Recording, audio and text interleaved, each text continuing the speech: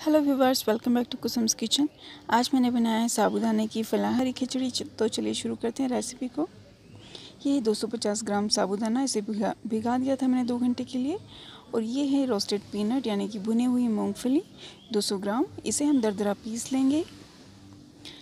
और इसे मैंने पीस लिया है। यहाँ एक पैन में मैंने तीन चम्मच घी ले लिया और इसमें डाला है एक चम्मच सौंफ। जी हाँ मैंने स्किप किया है जीरा को, उसकी जगह डाला है सौंफ और ये है चार हरी मिर्चें कटी हुई और ये है करी पत्ता।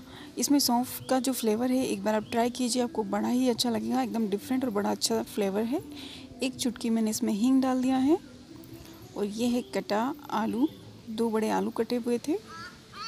इसे हम इसमें भूनेंगे कम से कम तीन चार मिनट जब तक कि इनका कलर गोल्डन ब्राउन ना हो जाए। फ्लेम को अपना मीडियम रखा हुआ है मैंने। इसमें मैं थोड़ा सा सॉल्ट ऐड कर दूँगी ताकि जो कुकिंग की प्रोसेस है वो थोड़ी सी फास्ट हो जाए। और ये तीन चार ग्रीन चिलीज़ और मैंने ऐड कर दी हैं, छोटी चिलीज़ थी, इन्हें मैंने टुकड़ों में काट लिया था, क्योंकि मैं इसे बहुत स्पाइसी बना रही हूँ। आप स्पाइसी नहीं खाते हैं तो चिली को अपने अकॉर्डिंग एडजस्ट कर लें। ये सोल्ट मैं भूल गई थी, अब डाल रही हूँ। यहाँ देखिए आप जो आलू हैं, इनका कलर चेंज हो गया है। अब हम डालेंगे सूखे मसाले। एक चम्मच डाला है मैंने धनिया पाउडर हाफ़ स्पून डाला है मैंने हल्दी पाउडर और यहीं मैं डाल रही हूँ एक चम्मच रेड चिली पाउडर मैं बहुत ज़्यादा स्पाइसी कर रही हूँ। आप स्पाइसीनेस अपने अकॉर्डिंग एडजस्ट करें। इसे हम एक मिनट के लिए लो गैस पर भून लेंगे और इसके बाद हम इसमें ऐड कर देंगे जो साबुदाना हमने भिगोया हुआ था। साबुदाना भुगोनों में आ, मैंने यहाँ पे 250 ग्राम जो साबुदाना लिया था उसी के अंदर मैंने टू कप पानी डाला और आधे घंटे के लिए रख दिया था। आधे घंटे बाद सारा पानी निकाल करके दो मिनट के, दो घंटे के लिए मैंने एक तरफ़ सारा साबुदाना रख दिया था। उसके बाद मैंने ये प्रोसेस स्टार्ट की है। यहाँ मैंने फिर से सॉल्ट ऐड किया है थोड़ा सा टेस्ट के अकॉर्डिंग और ये जो सॉल्ट मैंने ऐड किया है, ये है इसको सेंधा नमक भी बोलते हैं और इसमें मैंने एक चम्मच पानी मिलाया सिर्फ़ एक चम्मच क्योंकि हमें साबुदाने की खिचड़ी एकदम खिली खिली बनानी है।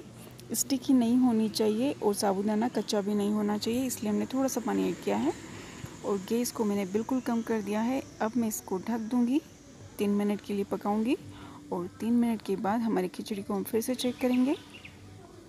तो यहाँ साबुदाना बहुत अच्छे से पक चुका है। अब हम इसमें ऐड कर देंगे जो हमने मूंगफली भुनी हुई पीसी थी, उसे। और इसी के साथ में जाता है धनिया पत्ता। अभी से ही हम डाल देंगे, इसका टेस्ट इसमें बड़ा अच्छा आता है, इसलिए हम धनिया पत्ता अभी से डाल दिया है और इसमें फिर से मैंने थोड़ा सा सॉल्ट ऐड किया है। सॉल्ट को हमने तीन बार ऐड किया है, इसलिए क्वांटिटी को आप एक बार टेस्ट करके, फिर चेक करके ही डालें।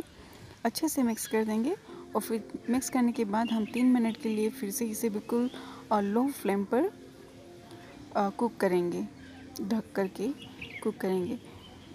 फ्रेंड्स अगर अभी तक आपने मेरा चैनल सब्सक्राइब नहीं किया है तो प्लीज़ विंडो के जस्ट नीचे रेड कलर का सब्सक्राइब बटन है, उसे एक बार प्रेस कर दें, उससे मेरा चैनल सब्सक्राइब हो जाएगा। अगर आपको मेरी रेसिपीज़ पसंद आती है तो लाइक और शेयर ज़रूर करें अपने फ्रेंड्स और फैमिली के साथ में। और आप चाहते हैं कि मैं जब भी कोई नया वीडियो शेयर करूँ, उसका नोटिफिकेशन आपको मिले तो प्लीज़ सब्सक्राइब बटन के पास में एक घंटे का बटन है, उसे एक बार आप प्रेस कर दें, उससे जब भी मैं कोई नया वीडियो शेयर करूँगी, उसका नोटिफिकेशन आपको ज़रूर मिलेगा। तो बनाएँ एंजॉय करें। Thanks for watching my video stay tuned